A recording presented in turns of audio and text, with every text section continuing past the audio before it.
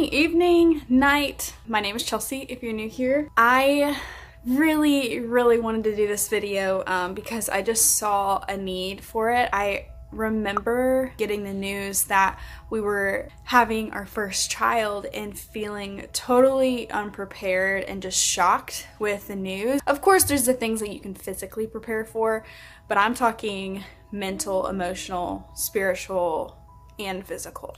Uh, so I wanted to touch on those four things kind of categorized in this video. And if you're already a mom, maybe some things you can relate to and give yourself some grace for. So before we get into it, I thought this was really fitting to share the sponsor for this particular video, which is ExpressVPN.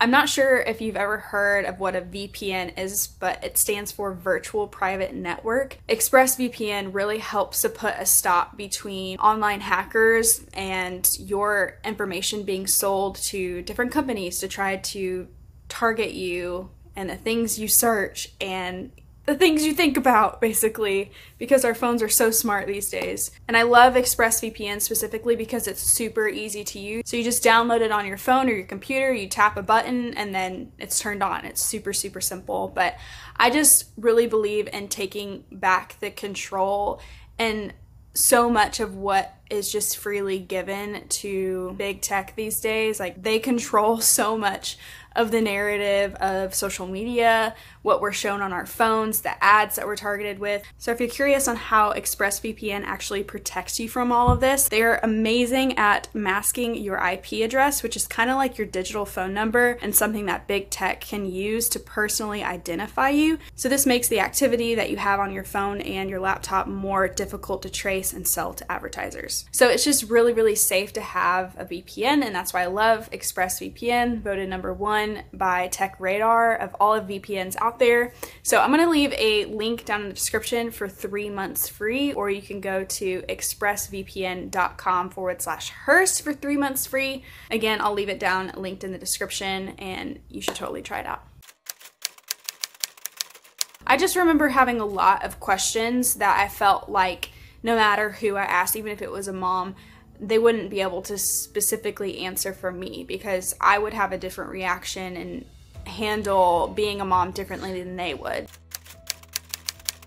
But I was reflecting on how his first birthday was coming up and how I wish I had all this stuff fresh on my mind for other moms who are about to step into it. So I hope this is ministry in a way to some of you who are walking through a similar season. But yeah, the physical side of things, I personally wish that I knew that like it was totally 100% okay to be exhausted and never have experienced that level of exhaustion and to do something about it like to to accept help but almost everything in you wants to like take control of everything that you can. This may not be your case but was the case for me. So in the newborn stage i wish that i had people set up family like planned for like the first six weeks to just come and visit and help out around the house because physically your body's healing you're getting kind of used to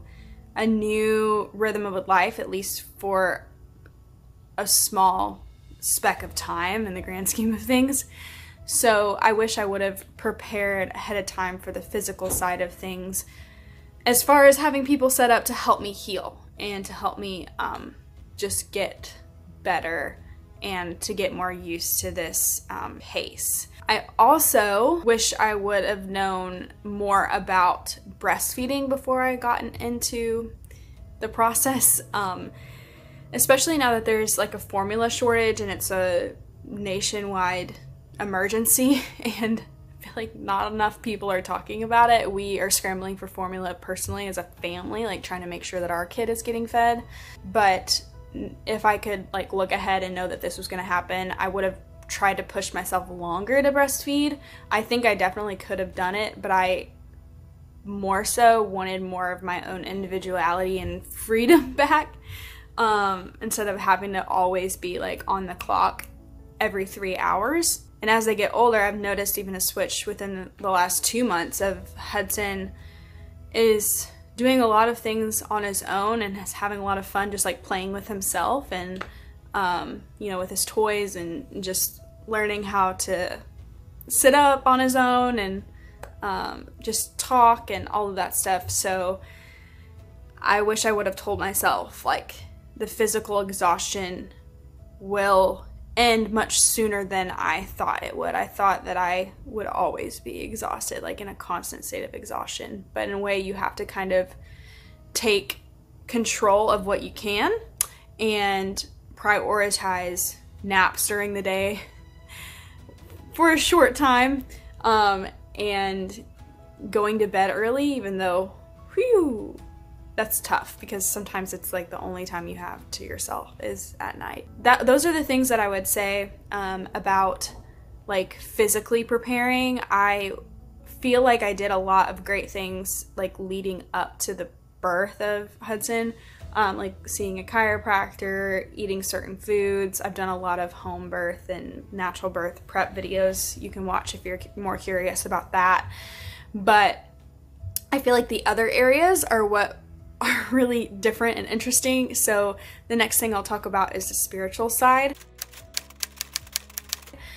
So for me, I am a firm believer in Jesus. I follow Jesus every day with my life. I would say um, I'm like Bible believing Christian, but I felt very behind in this area when I became a mom because I felt like I, I didn't prepare myself enough for this.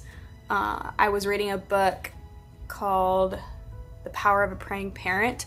And I felt like I was praying over him before I met him, um, Hudson, and those were all great things. But I needed to be in prayer over myself for the change that needed to happen in me. And yeah, all the things that God wanted to remove from my heart. And I was struggling with patience, with motherhood. And naturally like anger would flare up because hormonal hormonal shifts um, because maybe lack of sleep. You know you could li- list a lot of like physical things. But i truly believe if i was in prayer over myself not just for the birth process i was so focused on the birth process maybe i would have like really embraced the motherhood part a little bit more. So I wish I would have been more in prayer, like in my journal, and um, just intentional in praying over myself and the change that was going to have to happen inevitably, but that I would do it in more of a an accepting way rather than like, oh, this is hard. What do I do with this? Oh, okay, this is a big one. So between Nick and I, spiritually with the shift in parenthood. There was one particular night, and I want to share this story because it was so very big shift in our marriage. Um, I think it was two nights before I went into labor.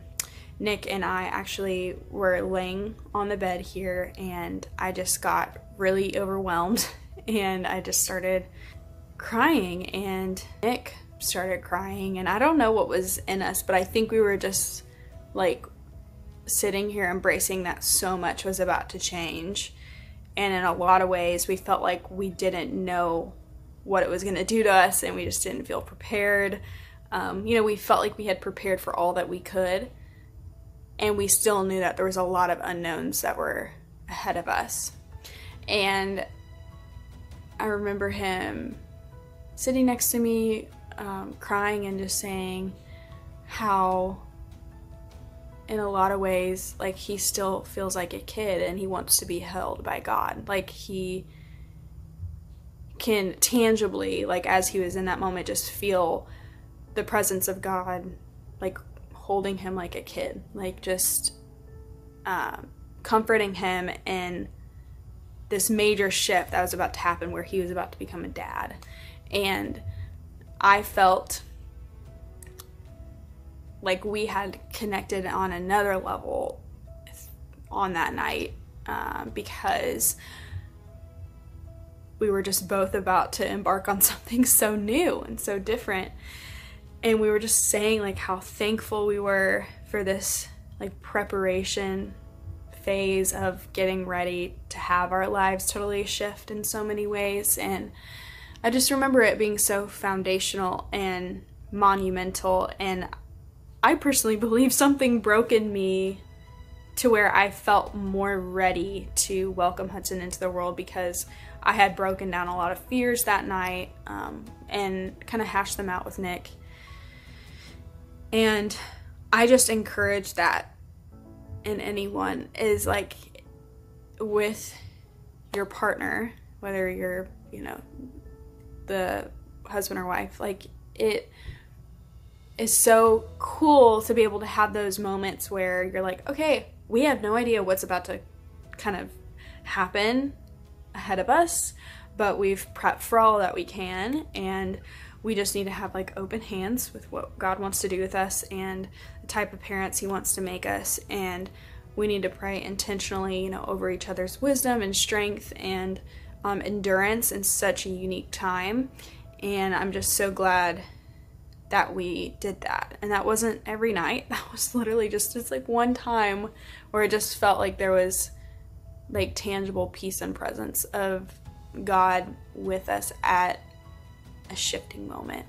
So that's what I would say as far as spiritual. I, I do think like the books do help, the prep preparation books for having a kid, but they're kind of more of a guide of what is already in scripture like the power of a praying parent kind of gives you prompts to pray over your child uh, but i would just go into your bible and and ask god to just search you and to reveal anything in your heart that needs to be given up um, and emptied out. Emotional? Pew! emotional. Okay Emotional health is tied to hormonal shifts, at least for me. It's a lot of high highs and low lows. That's how it was for me. Maybe it was different for other women, but I feel like it's okay to accept, you know, it's okay. Like, there can be really low, low moments and really, really high, high moments where you know that your baby is only this small for a very short amount of time and you're having such special moments and you're crying out of like pure joy and then the next moment you feel like you're not cut out for this and that there's no way that you were picked to do this um, because surely this is too tough and you're being punked. I don't know what else to say. It feels like uh, your emotions will lie to you a lot of times in the low moments where you just don't feel adequate and you don't feel like you can go on another day. And I remember telling myself because I was admitting to who was it? I think it was my counselor, and I was just saying, hey, I feel like a practice I've had to do lately is I can make it one more day, just one more day. You know, not as far as like, oh, I was suicidal, um, but just as far as accepting my new reality versus how it was and how it is now, I can I can make it through another day. I made it through today and I had vomit in my hair and I had poop on my hand and literally Hudson came out of the womb pooping on me. like like there's so much of that and it's not going to be that way, you know as they get older and you will learn and shift and change um, and so having other moms in my in my head and in my life was so monumental because I just remember they helped me to dismantle lies that I believed a lot of times when it came to I feel inadequate and I don't know how I can do this another day because emotionally I'm exhausted. I feel like I cry a lot. I feel like, you know, there's surely something wrong with me because emotionally and hormonally I feel out of whack. And those first three months is when, you know, your hormones are at an all time low. So it only makes sense that those are the thoughts that you have and that that goes on. Emotionally, turn a huge corner around months five and six when Hudson started sleeping a lot better. It's crazy how much changes whenever you can sleep better and I did not take any shame in like helping myself sleep with like melatonin and like things like natural teas and things I could do to just to sleep better. This kind of goes hand in hand with it. This is mental. okay, so I wish I would have known that these would these lies would have come up um, before I became a mom. Each day that you mom and do all the activities and chores that you may do around the house, for me, I battle the lie that there's not as much purpose in that than there is going to a job. I've had to really bring that to God and say, why am I believing this? Is it because I had a pattern of belief within work that was already in me where it was kind of like an idol? Like I, I felt like, oh, surely I have more purpose and more value if I'm outputting more to the world. Um, and a lot of my work isn't seen because a lot of things around the house and the role of being a mom a lot of it is unseen i had a friend like speak over me like the most important thing ever is that i am seen known and loved by god and that embedding that not just into my mind but into my heart is so healing to me um, and just separating my identity from my work and even my identity as a mom that I, I could easily attach my identity to being a mom and allowing my identity to be just firmly on what I am, which is a child of God, saved, redeemed, loved. And that that is my identity you know, like not attaching it to being a wife, being a mom, being a creator, being whatever, whatever role, whatever thing I'm doing. Um, and so the mental battle, I think that I've noticed a lot of other moms have is that like feeling like they're insignificant or they're not seen because the work that they do does not feel the same as what it may have been previously. Like they may have felt more productive or more focused in whatever else. But I've had to learn that, oh my gosh, being here and raising up another whole human that will be my age one day, that will also have an impact on the world, is so important, especially in a day where he will never not know a world that hasn't had a phone, a computer, like smart tech everything. And so being proactive as a mom to like guard his heart and his mind and pray over just about every square inch of this house like um is so important. And shaping another human being is like quite the call and I feel like it's so sad to hear myself even admit sometimes that it feels not significant to do that work. But it just, I think it can feel monotonous and mundane to do a lot of the same things every day and not have as much variety as I used to in other roles.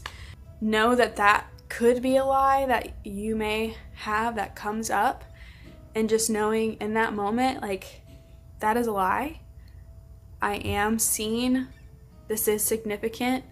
Um, and I am called to this, and it's important, you know? Like, it's so much more valuable than a lot of what other people put so much time into energy into every day. So those are my four areas of like what I wish I would have known before I became a mom, and I share a lot more on Instagram. So if you don't follow me on there, it's Chelsea Kay Hurst. Um, if you guys have any other things that you relate to or things you're prepping for, just any comments, like feel free to leave them below. And don't forget to subscribe for more videos like these. I'm really excited for the next video.